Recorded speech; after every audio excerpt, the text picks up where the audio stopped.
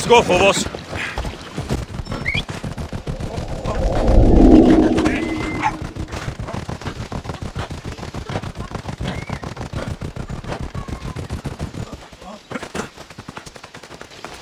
Please help our daughter. Same sickness as the rest. This is very troubled. May Asclepius spare her from suffering. Will she live?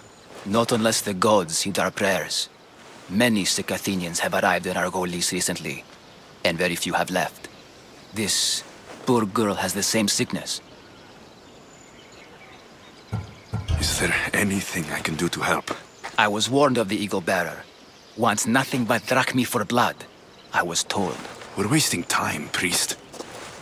We can discuss what I want when this sick girl's needs are taken care of. Her illness seems to have no cure, and it's spreading. Our sacrifices have done little to draw the attention of the gods. Pigs, goats, all have fallen on deaf ears.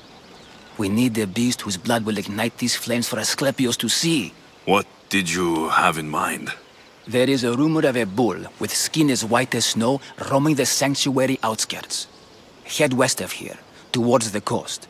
Bring it to me alive, and we'll offer a sacrifice the gods cannot ignore. I'm touched you will help these people, but I know why you're really here. Chrysis made all priests swear oaths to seal our lips in the face of the eagle-bearing Misthios, or forfeit our lives. But I serve the gods and the sick. My oaths are to them.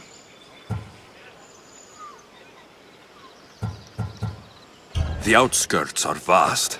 Can you be more specific about the location of the bull? Last I heard, it was grazing on Mount Corifum, near the Assini ruins. If you're just going to slit its throat, why do you need the bull alive? But we're not just going to slit its throat. First, we pour water on its head. If it nods, we may proceed. Gods, mortals, and animals, all must be willing participants in the sacrifice, or it is impure. To save this many people, we will need the beast's blood, bones, and fat. Tell me about Chrysis. She has everyone terrified. We taught her everything we knew about healing, about the gods. Then she found new teachers, people in masks. They changed her, turned her heart black. They became her gods. I'll find this bull for you. Apaton Thala,